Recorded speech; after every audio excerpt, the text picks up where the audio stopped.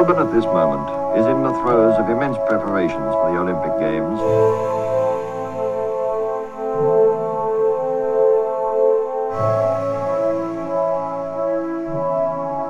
Already the main games area, quite close to the city proper, has been transformed by the erection of new structures.